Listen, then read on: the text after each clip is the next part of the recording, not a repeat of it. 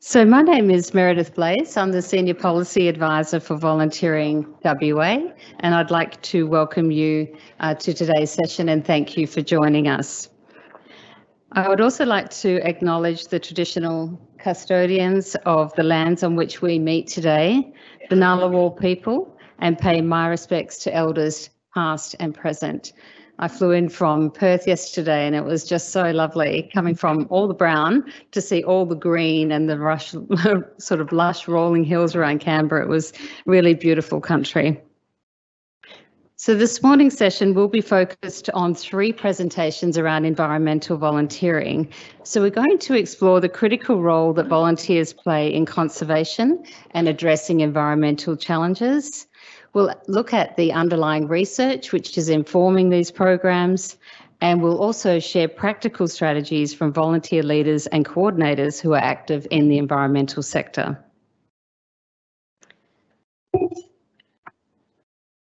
So I'd like to introduce our first speaker, Fiona Tucker. Fiona is a manager of visitor programs for Sydney Olympic Park Authority. She has 25 years professional experience in delivering of natural and cultural heritage visitor programs. Alongside this experience, uh, she also volunteers with Girl Guides New South Wales, ACT and Northern Territory, uh, both as a district manager and also as a kayak canoe skills instructor. Multi-talented volunteering people are. Fiona leads a highly customer focused team at Sydney Olympic Park as they transform from being a place to visit to also being a place to live. Please join me in welcoming Fiona to our stage. Thank you.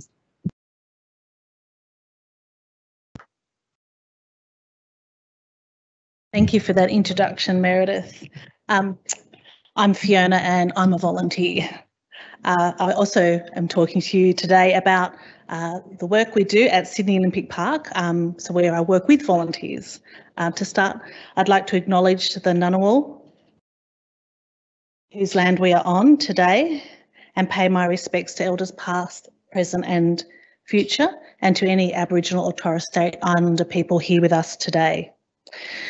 The project I'm sharing with you today started as a seed of an idea following uh, my attendance at a conference five years ago a state parks agency there presented a case study about a community reserve that was um, with contributions from community volunteers, local school students and park staff was transformed from a really degraded, vandalised place into a valued community park. What I took away from this was that a community was invited into a place to care for it alongside the agency responsible for managing that area, and that it wasn't just a one off cleanup day, but a complete package with both environmental and social outcomes for the local community, and that ongoing custodianship was achieved for that small precious pocket of parkland.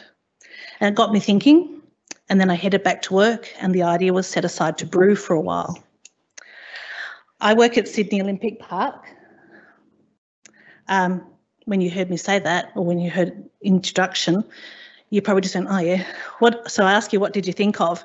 Perhaps your mind goes straight back to the excitement of the Sydney 2000 Olympic Games and the Paralympic Games, or perhaps a more recent excursion to the Sydney Royal Easter Show or a sporting event or concert, or if you're a Sydney sider lining up for your vaccination. While Sydney Olympic Park is a major events and entertainment precinct, the 640 hectare site has a mix of land uses that include parkland, nature reserves, environmental conservation, along with areas for public recreation, sports and events, residential and business uses. To give you some context to the park, I just want to go back in time um, to the beginning before the year 2000. Sorry. We go. Um, no, now I'm right. So Sydney Olympic Park rests in Wangal country on the southern shore of the Burramattagal or Parramatta River. For, for millennia, it's been home to the Wangal and a resource-rich gathering place for the First Nations people where they'd meet, celebrate and trade. Uh, since 1788, colonial, industrial and military uses have seen the destruction of the natural landscape, including polluted and uh, created a polluted industrial landscape. And with the vast site that was needed to host those Sydney 2000 Olympic Games and Paralympic Games, the land was reclaimed, remediated, and a parkland was re engineered to contain and manage the 9 million cubic metres of waste. So, sustainability was embedded in the development of the venues and delivery of the Games, earning our Olympics uh, the title of the Green Games.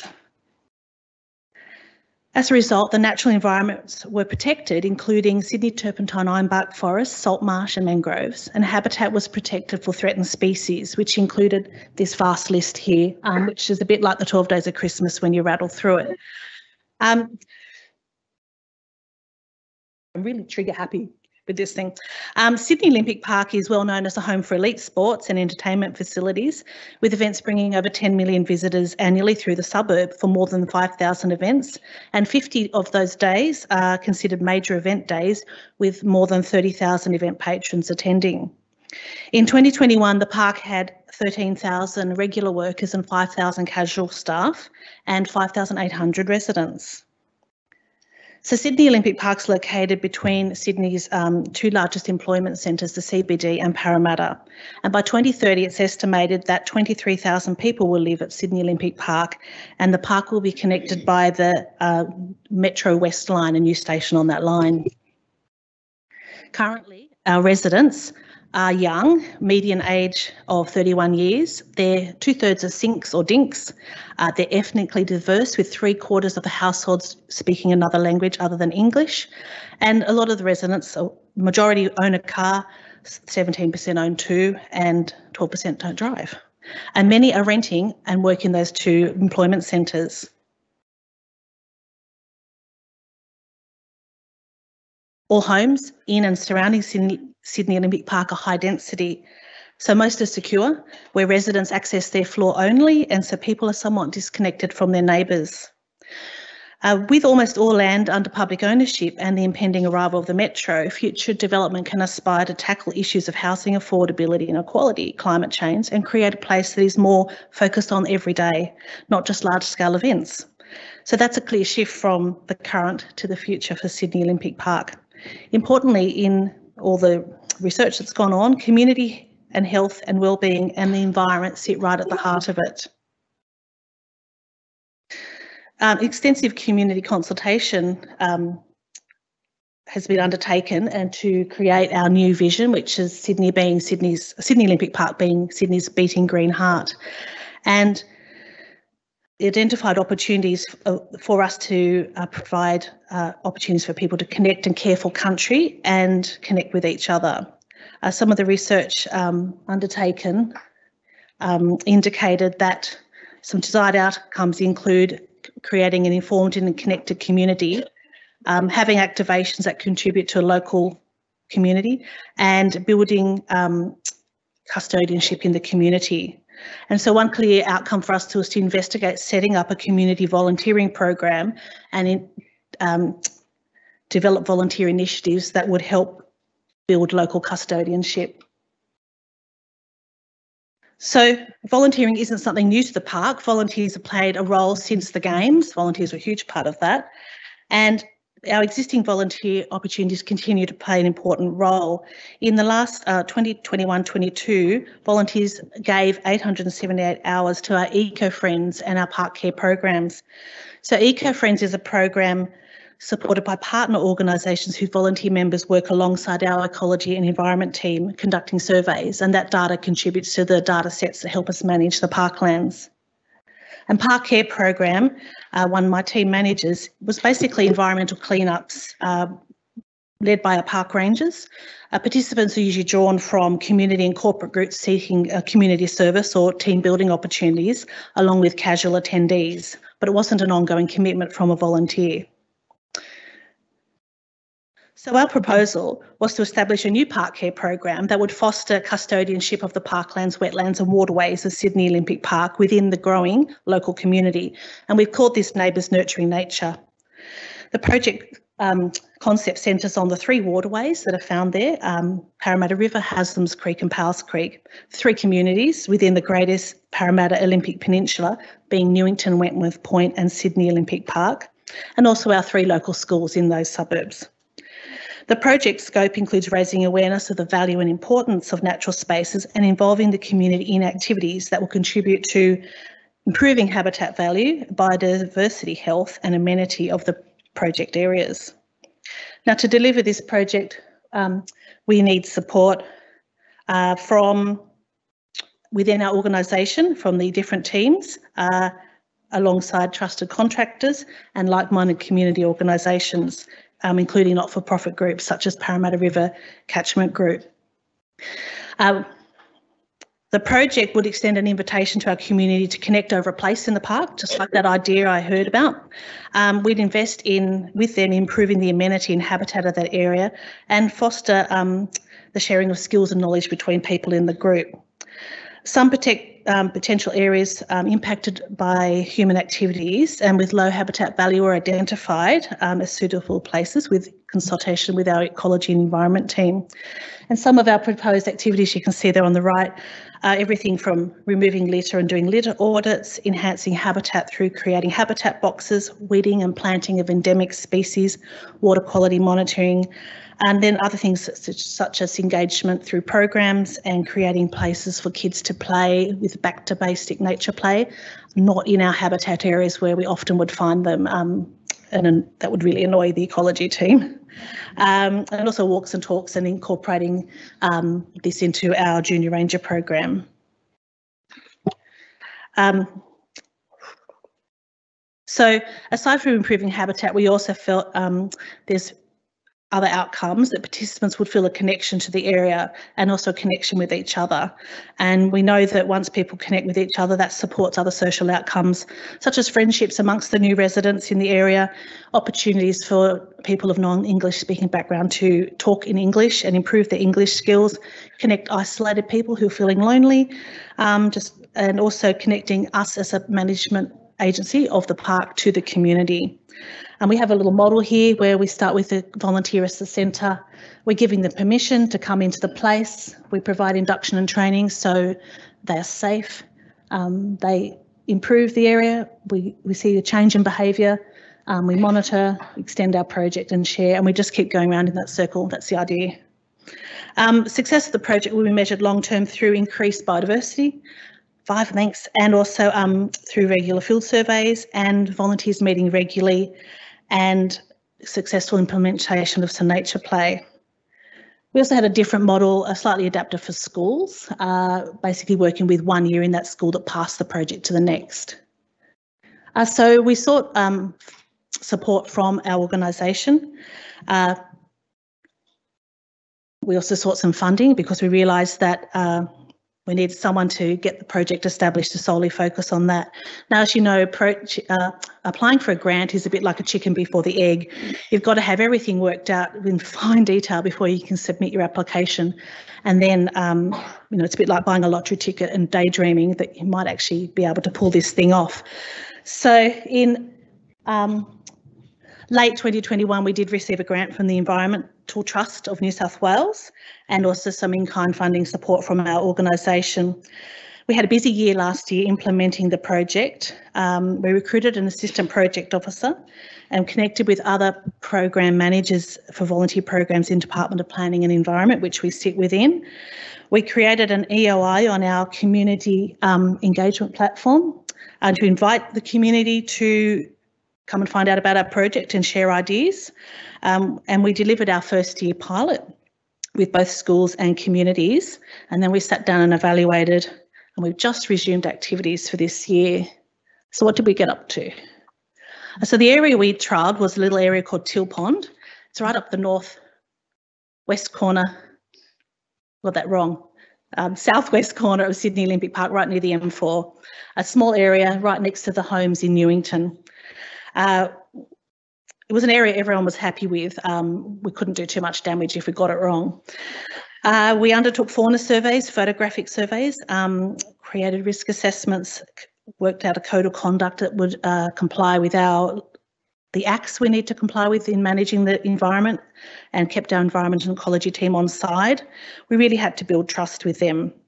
Um, we also worked with uh, a school. We had two visits from Newington Public School out to the site for a site survey where they did some line drawings, good geography stuff, a litter cleanup and planting.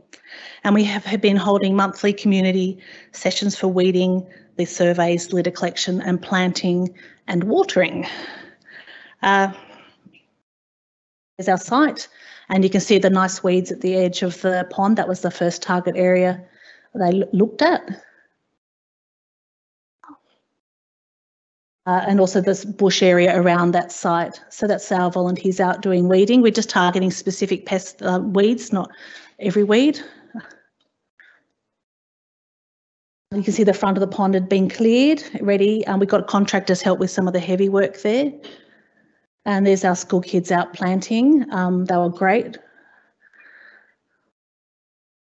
Sarah just before Christmas. Um, we had to put signs up to tell people to leave it alone because locals come and try and fish in that pond. And um, there's us just a few weeks ago pulling the um, protective cartons off and letting the plants have a bit more light. So um, quickly go through the challenges. Um, administration was really slow to get going for us, especially when our organisation is moving to an outsourced services model. So we're going through a government realignment. That was pretty hard and kept hitting walls. Um, keeping to the concept that we were funded for was really hard. While we wanted to incorporate ideas from the community, we'd, we'd already had this plan approved to get the funding to have someone to make the thing happen. So that just means variations have to go in um, for what our project looks like. And also being honest and putting some ideas aside for later. Um, and some, yep, one minute, good.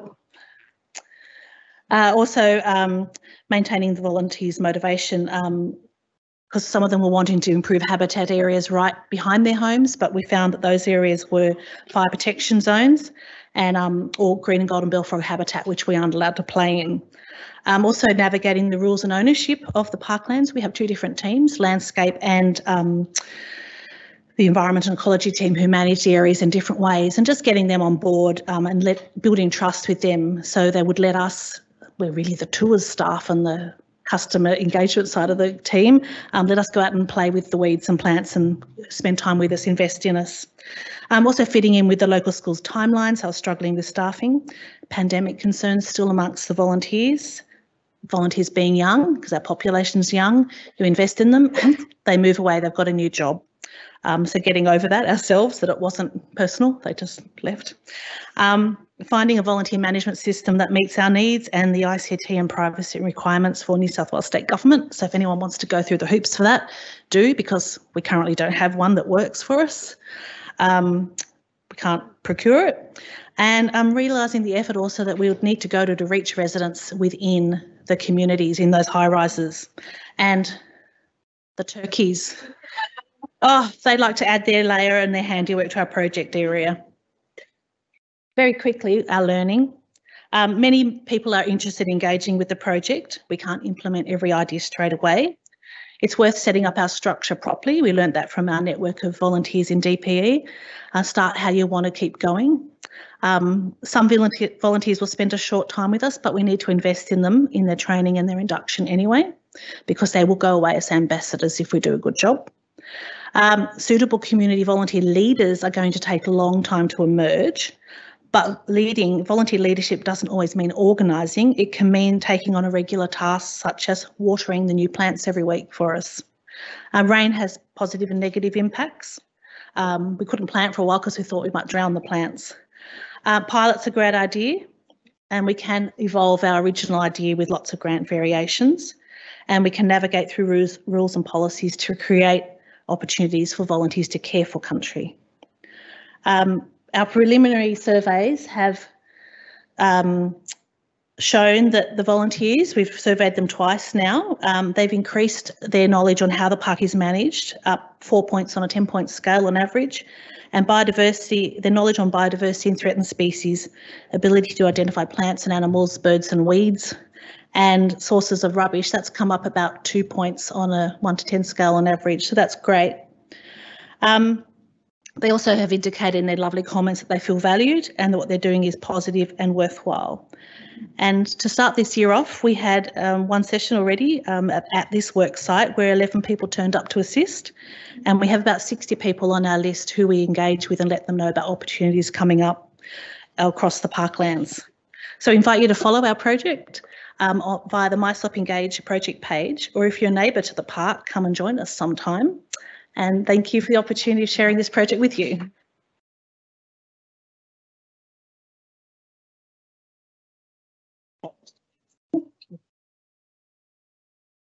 Thanks so much, Fiona. That's such an interesting project, and it is. Uh, it just reminds me of that old Margaret Mead saying that never think that uh, small groups of committed people can't change the world. They're the only things that ever have. So thank you so much. It's great to see innovation in a program that's been around for a long time and continuing to find new pathways.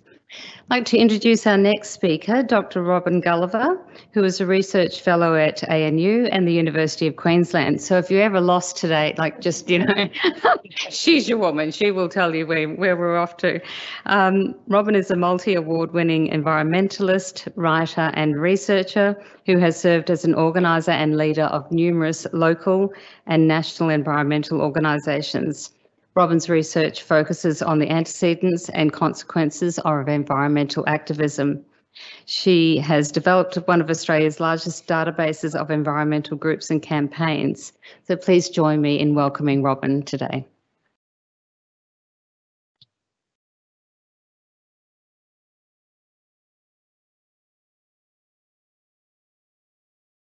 Hello, thank you all for coming along to listen. It's a great um, pleasure of mine to be able to speak to you about environmental volunteering. Now, there's a lot to say about environmental volunteering, as I can imagine that you know, but today I'm going to focus particularly on leadership and organising. And what I want to look at in general is how we can determine the distinction between participation and leadership behaviours and what kind of psychological motivations drive people to engage in these behaviours. So I'm interested in the why you know, we can create fabulous programs for volunteers, but we don't understand why they do it, they will not stay. And in activism context, which I'll explain shortly, we will face very high rates of burnout. So that's why I think the why is really important.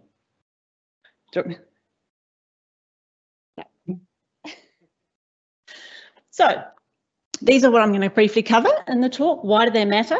What is the difference between volunteer leaders and participants?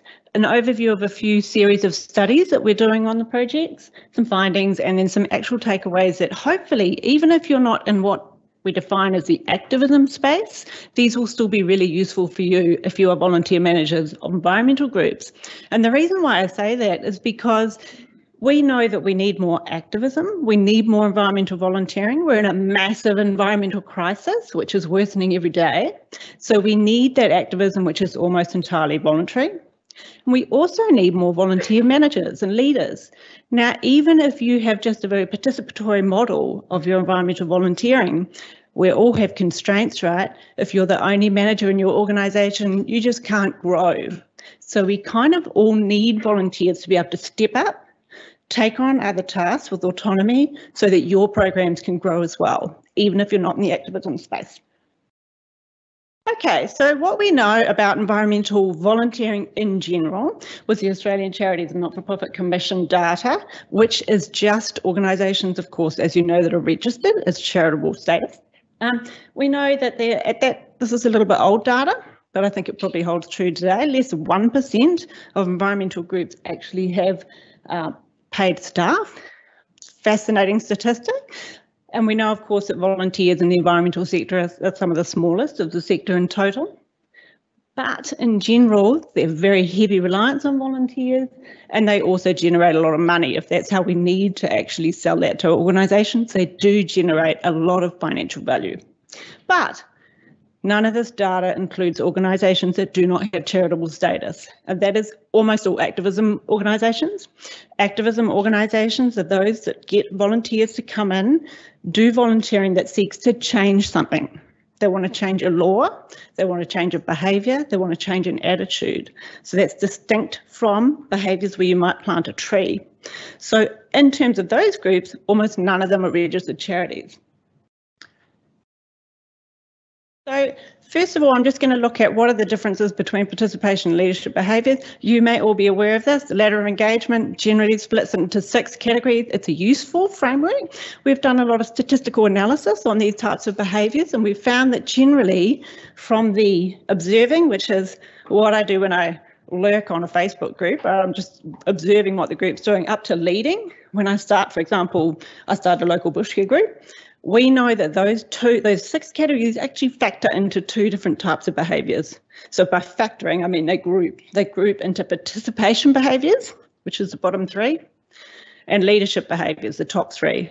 So when I talk about leadership, I talk about those top three, and I think that was mentioned earlier as well. It doesn't mean just being the actual leader of a group. It also means organising an event or something. Okay, very quickly. So this is three studies we've looked at. The first one was we wanted to find out who are all these environmental groups that are not registered as charities and what do they do? Where do they do it? How many volunteers do they have? We also did a survey of 259 volunteers, which was both activism and not activism environmental volunteering behaviours. And then we were looking there as why do people do the participation? Why do people do the leadership behaviours? What attracts them? And kind of what makes them want to stay. And then some interviews, which was specifically with environmental volunteer activist leaders. And I just wish we had a shorter name for that, but I have to say all four words environmental volunteer activist leaders. And that was about what do they actually need to do what they do and how do they deal with the constant failure that they face every day. Okay, so now I'm going to go into the findings and then I want to spend quite a bit of time on the key takeaways from the so the findings of the first one, what are all these groups? Okay, they're all over the country. The numbers there are the number of groups in that spot. So for example, here, there's 66 non-environmental groups just in that spot. And that engage that includes everything from bush care groups, not land care groups. So land care groups and friends of groups, you know, the friends of parks and stuff, they're not generally included in this map. So you can add another, say, 5,000 for all of those groups. But these are primarily groups that will be engaging in some sort of advocacy. Um, and then what we also found is that a lot of groups don't have any formal organisational structure.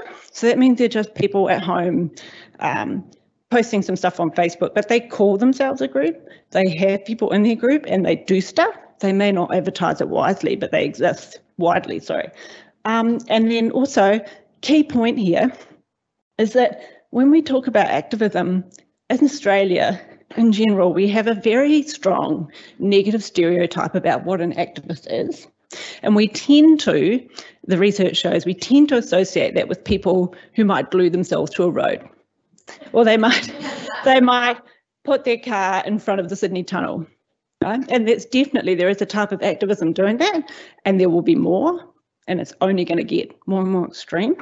But the vast majority of activism is not that behaviour. So think about, say, 98% of activist behaviour is other stuff trying to change things. So talking to your MP, or having a movie night in your community, or um, getting together and having a market stall to try to educate people about climate change.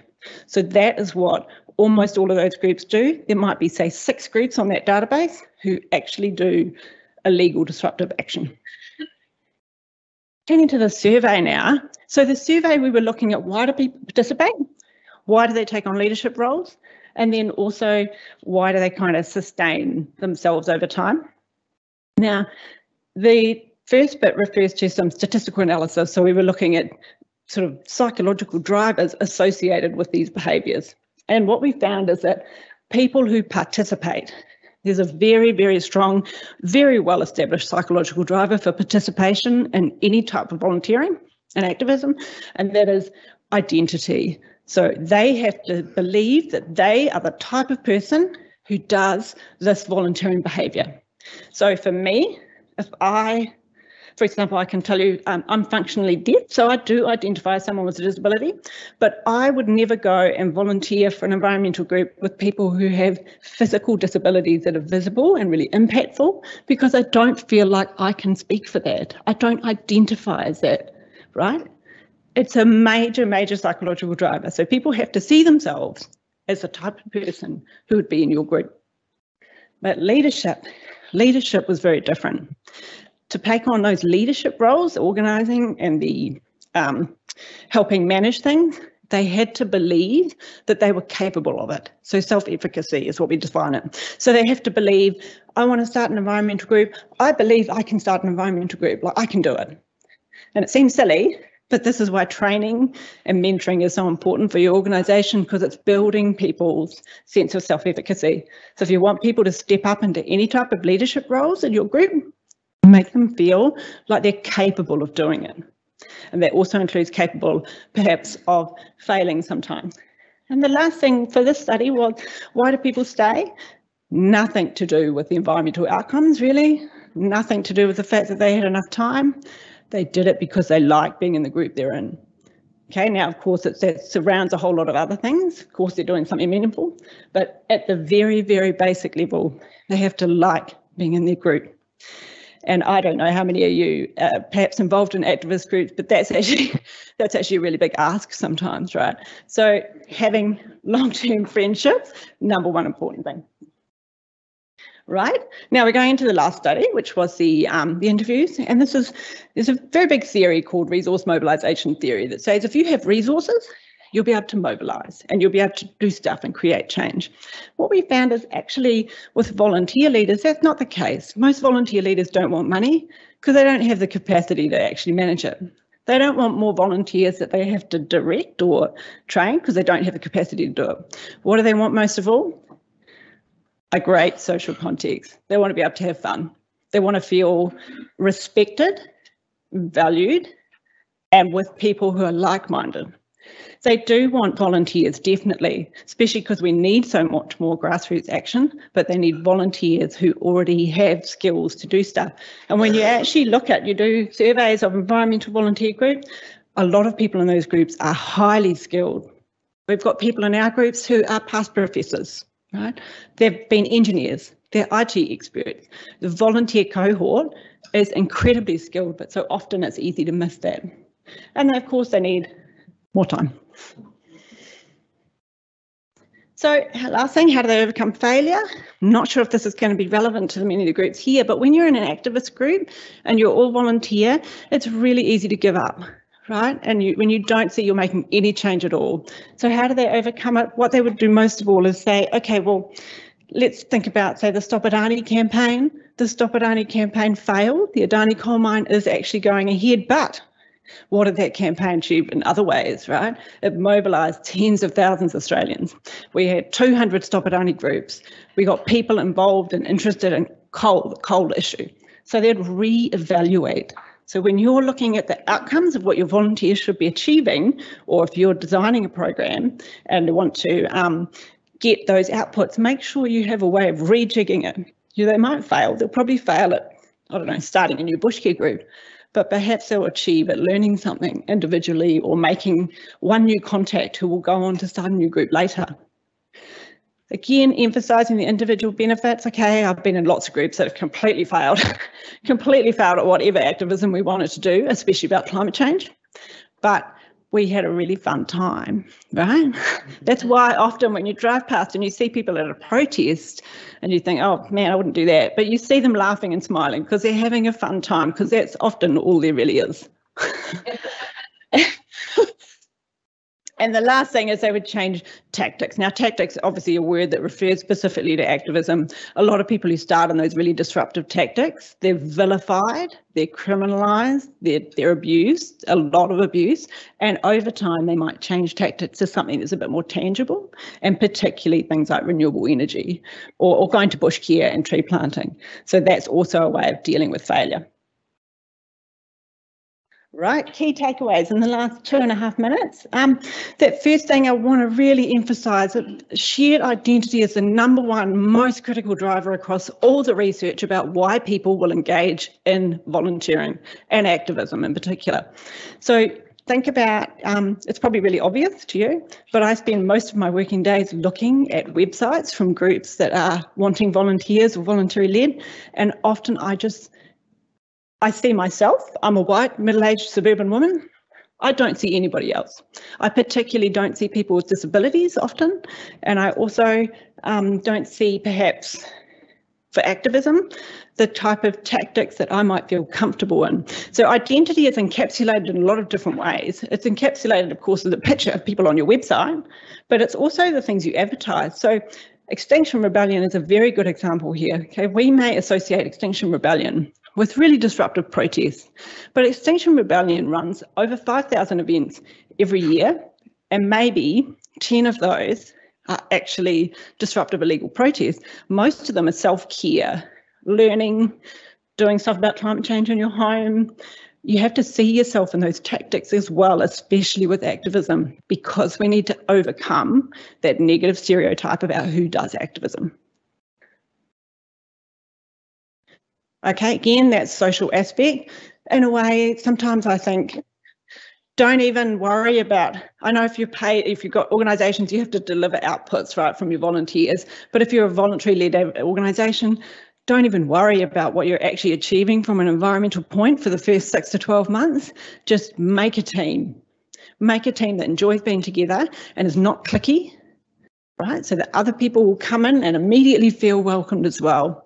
So we would have, for example, in groups, um, we had a big Stop Adani Brisbane group, and sometimes it got quite big, and people would come in. You'd see them come into the meeting, and then they'd leave quickly afterwards, and nobody talked to that person nobody really said hello or asked their interest. And, you know, I, am just, it's very hard for volunteer leaders to do this, but you have to. It's the number one important thing. Don't worry about what you achieve, just try to keep them involved and welcomed. And the last one is that self-efficacy thing that's particularly important for um, for if you want volunteers who want to take on more autonomous roles. So think about how you can um, give them more time by taking time loaded tasks away from them. So that's why the share the load thing is you could do the boring stuff for them while they can have more time to do the group building and also make sure there's a lot of organisations out there that actually can help with the training and mentoring. I'm sure you guys are across that, but that would be my third takeaway, to actually help people build their confidence. Thank you very much for that. Um, I'll also just point out that um, I'm a board co-director of the Common Social Change Library. It's Australia's only online uh, library about social change, which has also got volunteering stuff, all freely accessible. We're very interested in doing more research projects or um, sort of on the ground projects with environmental groups or organisations interested in social change. So please just do get in contact if you have any questions. We'd love to get in touch. Thank you. Thank you so much, Robyn. It was so interesting to hear, and there's certainly a theme emerging about the need to train and develop and mentor your volunteers so they can step up into those leadership, perhaps not the formal leadership roles, but those leadership roles within the teams that can then help to leverage and expand the programs. It was fantastic to have all that information on the evidence base that underpins that as well. Thank you so much. And our last speaker today is uh, Katie Ronald. So Katie has been in volunteer management within the conservation sector for over 10 years. She holds a Bachelor of Science in Environmental Management and Conservation Biology and a certificate for in coordination of volunteer programs. Katie now works as the National Volunteer Program Coordinator for Bush Heritage Australia and lives in Perth with her family. Please join me in welcoming Katie. Thank you.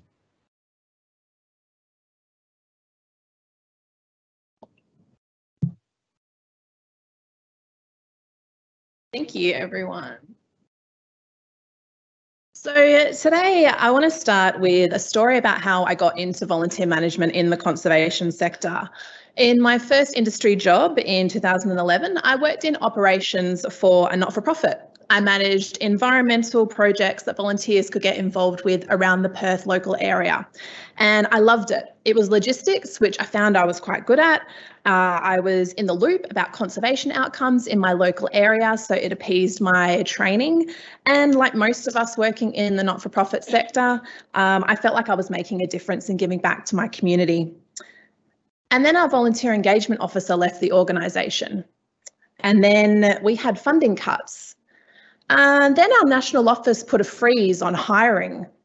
Is anyone here starting to sound a bit familiar to anyone? Yeah. So uh, our team of six was currently down to three, was down to three all of a sudden. And we uh, had a meeting to work out what we were going to do after the shock had worn off.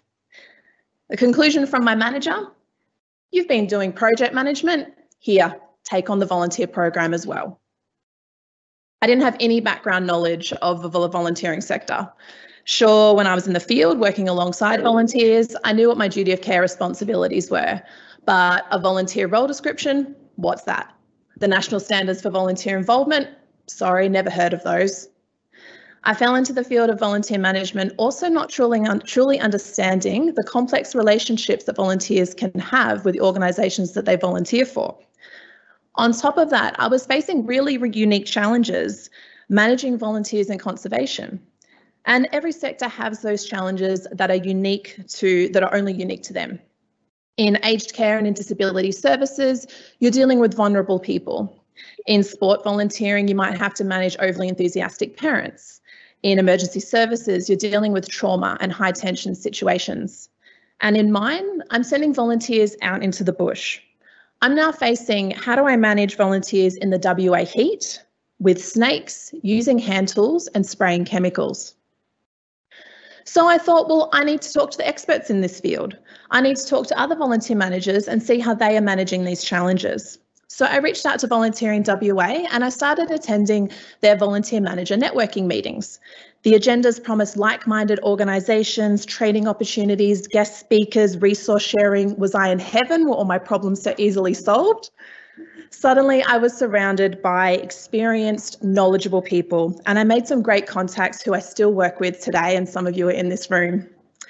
But they were in the health sector, they were in arts or in education. There were so many great people to talk to about those broad volunteer topics, like those national standards. Who was I going to talk to about snakes, handsaws, and chemicals? 12 years on, things are a little bit different. I now work for Bush Heritage Australia and I manage the National Volunteer Program and I have those national standards firmly embedded in what we do. But it was only through trial and error and a very steep learning curve that I got there. I've worked for Bush for about two and a half years now. And like my volunteer management career, Bush Heritage also started from humble beginnings when our founder, Dr. Bob Brown, purchased our first property in Tasmania in 1991. And that's what we do. We buy and manage land and we partner with Aboriginal people so that we can protect our irreplaceable landscapes and our magnificent native species forever. We respect, listen and learn from working side by side with traditional owners and working in partnership with pastoralists and other organisations. Together, we're returning the bush to good health. And we've grown our volunteer program significantly over the last 30 years to match that. So we see ourselves not only as a leader in landscape scale conservation, but also as a leader in volunteer coordination in the environment. And as a large, well-resourced organisation, we have a responsibility to help and support other not-for-profits in our sector. And this is where the idea of the Volunteer Coordinator Support Forum came from. So today I'm going to be telling you a bit about setting up a forum like this, why we felt it was needed in our sector, and whether it might help yours. How great would it be if you had a forum specific to your sector, a forum that brings together volunteer managers from different organisations within the same industry who are looking for additional support or want to receive mentorship from another organisation? A forum that provides a collaborative and safe environment where volunteer managers are comfortable raising issues or concerns that they have specific to volunteer management in their sector. For me, it was things like how do I manage volunteers and firearms, or how do I check the manage the competency of a volunteer using a tractor. And the forum has to be a place where we can go to to share resources, ideas and knowledge. I wanted to know what policy other organisations were using having around chemical use, or what the best induction template was for remote fieldwork.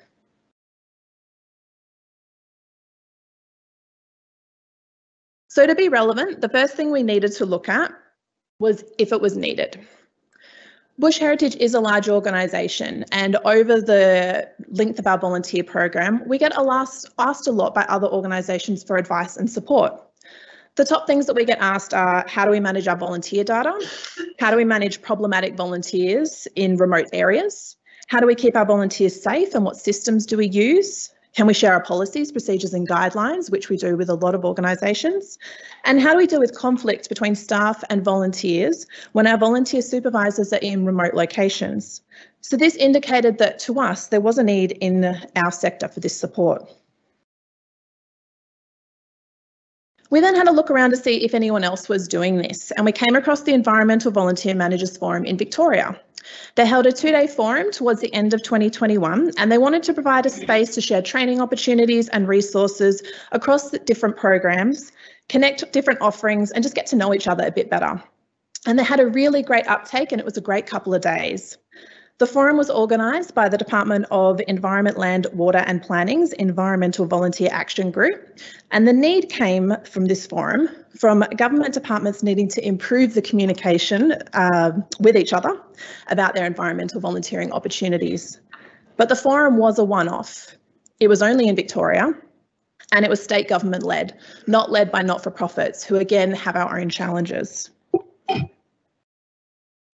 So next we looked at the content. We knew that the agenda had to be participant driven. We already know that volunteer managers are time poor, that we usually do different jobs throughout the organisation, and most of us work part-time. The content has to be meaningful and engaging and not take up too much of that precious time. Four years ago, our workplace health and safety manager found herself in a similar position that our volunteer program finds itself in today. She was constantly being asked by other not-for-profits for advice on safety-related matters. So, like us, she thought that Bush Heritage needed to provide leadership in this space. So she started a quarterly forum for work health and safety managers of conservation organisations. They needed a safe place where they could come to to ask questions. They wanted to benchmark themselves against other organisations in the industry and at the beginning of each year, the members are surveyed for topics that they want to discuss or guest speakers that they want to hear from. So the agenda is driven by the members. Specific forums for different sectors can also go, be a place we can go to to problem solve. Other organisations can relate to the situation you're in and help you with the problem that you're trying to solve without needing to know the individuals that you're talking about. It's also a great place to be able to network, but if you're investing a time in a forum like this, you also want tangible outcomes. 12 years ago, I wanted to learn about how other volunteer coordinators were managing total fire ban days, or how they were rewarding and recognising environmentally conscious volunteers who don't want certificates or material merchandise. Instead of spending hours researching or waiting for internal staff to get back to me who had their own priorities, I could have called on local contacts in my sector for advice. The next thing we looked at was the setting, the culture and the mood of the forum. It had to be meaningful to make good use of everyone's time. Almost everyone experienced working during home, working at home during lockdowns. But Bush Heritage have had staff working remotely for years. Our reserve staff in remote areas all over Australia. So why do our support staff have to be together in an office in a capital city? We're also spread out all over the country. So we have the resources already in place for an ergonomic home office. We have risk assessments for working from home. And we have an amazing employee assistance program, which includes a quarterly phone call from a psychologist just to check in about working from home, working remotely. We are in such a lucky position to be able to provide a safe and collaborative environment to our staff. Why shouldn't we be sharing what we know with other not-for-profits as well? And what about debriefing on volunteer matters?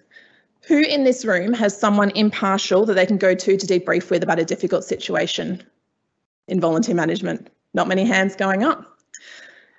We know you need to debrief after an event. During after the Black Summer fires in 2019, 2020 and during the pandemic, Bush Heritage staff had extensive and varied support from our board, our executive team, our people safety and culture team, and our employee assistance program. But at a volunteer coordination level, do we always have someone that we can go to to debrief about our struggles? Like after we've had to manage a challenging volunteer behaviour, or if we've had to exit a volunteer from our program. My team sometimes feels alone in this space. And if you're feeling the same way, maybe your volunteer program sits just outside your organisation's main structure. Or your reporting lines don't quite fit in with everyone else's, and your line manager doesn't really understand the work that you do. Or that other staff just don't understand that working with volunteers is very different to working with other paid staff, and it presents its own set of challenges. My predecessor came from a social science background. Like a lot of people in that area, she started her career working in community support programs. But when she started with Bush Heritage, she suddenly found herself surrounded by scientists and land managers in a new sector. In her first week working at Bush, she was asked to recruit volunteers to complete a macropod SCAT survey. Having no experience in natural resource management or in conservation, she had to Google what a macropod was and what a SCAT was. And then she thought, how the hell is she going to find volunteers who want to count kangaroo poo? Her social science skills were completely transferable to the volunteer coordination space. But if she had had a network group to turn to for support, she would have felt more grounded in her role a lot sooner than she did. If we want volunteer coordinators to attend forums like this, we need to understand how time poor they are. Toby Johnson and La Trobe University found in their 2021 Volunteer Managers Report that less than half of volunteer coordinators devote 75% or more of their time to volunteer management. With the time that we do have, we need content that is meaningful, useful and engaging and brings coordinators wanting, wanting to come back. Which leads me into capacity building. Have you found that training opportunities or guest speakers in your organisation are targeted at what your core business does? I mean, it makes sense. At Bush Heritage, we have guest speakers who are scientists, who are climate change experts or fire management professionals. But with a sector specific forum, you can have guest speakers talk about the trends and issues in volunteering that occur just in your sector. The forums can host guest speakers that you wouldn't usually get within your own organisation. And it's a great source of personal development and career growth for you as well. And you can start to use the knowledge in the forum to build your own case studies that you, you can then take back to your management to advocate for change within your own program. And who wants to be reinventing the wheel? when we can be sharing guidelines, policies, procedures, survey templates, and research and strategies. If a larger organisation already has a data management system in place, or they've already written a COVID policy or recruitment strategy, why not tap into that? Well, it's just a place where you can go to to debrief with people who know the common, your common challenges and who face the same struggles. Volunteer coordinators from some sectors face really unique challenges in volunteer management. A quarterly forum specifically designed to support and educate them within their sector will provide better outcomes for the volunteer coordinator, for the organisation and for their volunteers. So could this model benefit your sector? And if you're in conservation, come and talk to me. And who will lead this in your sector? Which organisations are going to stand up? We don't come together like this often, use the conference to find those people. Use, the, use this conference to find those people in your sector and the networking opportunities to find people in the room who share the same sector specific challenges that you do. And identify those larger, well-resourced, well-established organisations in your sector who have the responsibility to be leading this initiative. I want to take you back to that young volunteer manager who was just looking for other people to talk to about managing volunteers in the conservation sector. How great would it have been if I had had a place filled with my peers who understood and appreciated the challenges around managing volunteers in the bush? Imagine if every single one of us had that support, that next level down from the peak bodies that was specific to our industry. For any sector, a forum like this can provide a place to go to when you're not sure who to go to within your own organisation or you don't have anyone to go to internally. Most importantly, forums like this can offer volunteer managers that safe space with like-minded people who are there to help them tackle those challenges like snakes, handsaws and chemicals. So I encourage everyone, stop waiting for these forums to be built, start networking and be that catalyst to help develop a more collaborative community. Thank you.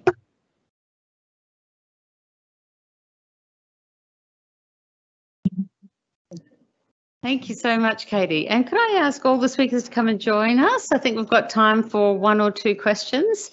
Um, it was a great call to arms there for us all, Katie, to use the conference to get to know each other and the people in this room I'm sure have a lot in common. So if you have a question, would you be able to put your hand up and I'll repeat the, um, the question for the live stream. Anyone have a question for our panel? Yes.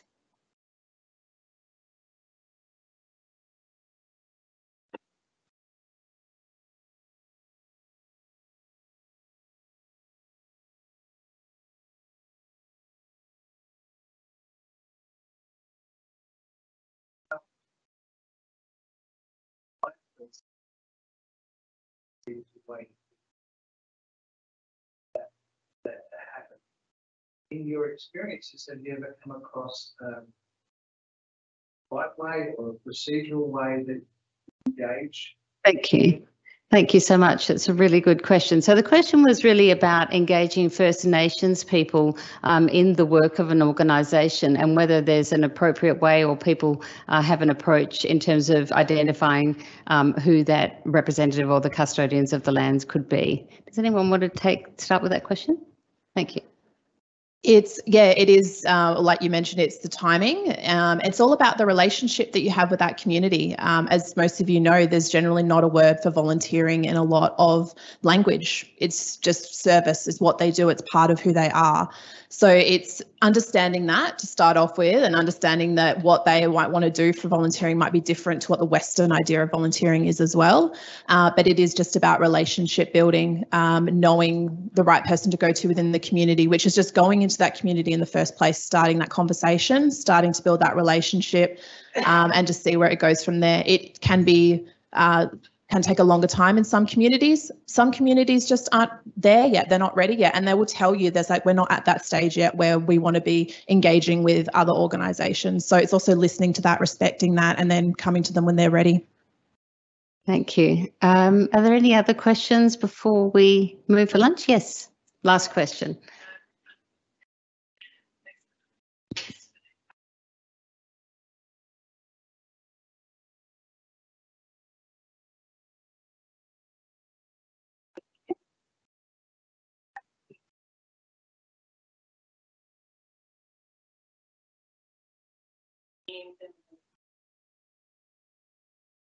Thank you. So the question was about family-based volunteering in the environmental sector, um, particularly attention to child-safe organisations. I'm just wondering if anyone would like to have a go at that.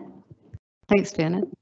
Um, with our Neighbours Nurturing Nature program, we allow families to attend with their children so long as they're supervising their children um, and they're with their children all the time. So that's the best way we can approach it in that setting, making sure it's child safe. All our staff obviously have working with children checks in place, as they're called in New South Wales. Uh, we also will incorporate this year into our school holiday offer a junior ranger neighbours hybrid where families can register for sessions with children and participate in them with just their children so other community volunteers would only be present if we've cleared them to be there to help the ranger. So we would, might have one or two, but not the whole general group. But that's the way we're, we're tackling it at the moment. Thank you very much. Sorry, Bob. Um, I'd just add as well that I totally agree, and they're great programs to get kids involved. But also, it's obvious, but your your activities have to be at a family-friendly time. And for a lot of activism organisations, they have meetings at 6 p.m. Or I would take my kids when they were young, and you know there'd be embarrassment, and um, and it's it's just you don't go back, right? So decide whether you want kids anyway, and if you do, make it family friendly, actual context for them. Mm. Very practical advice there. We will have to close then, but we are moving to lunch at the QT building. So that lunch starts in 15 minutes. So there's time to move. Please join me in thanking our speakers today.